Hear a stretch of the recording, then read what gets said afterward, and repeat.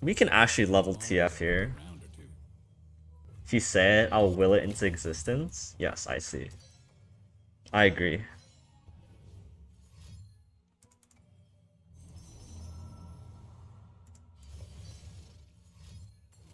Okay.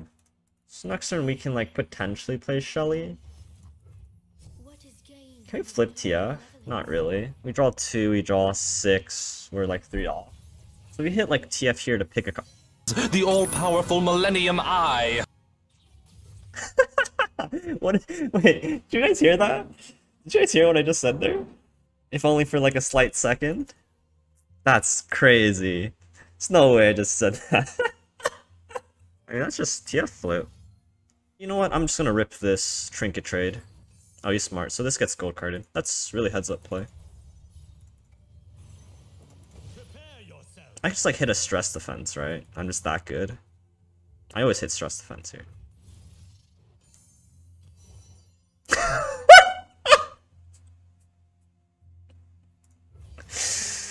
oh.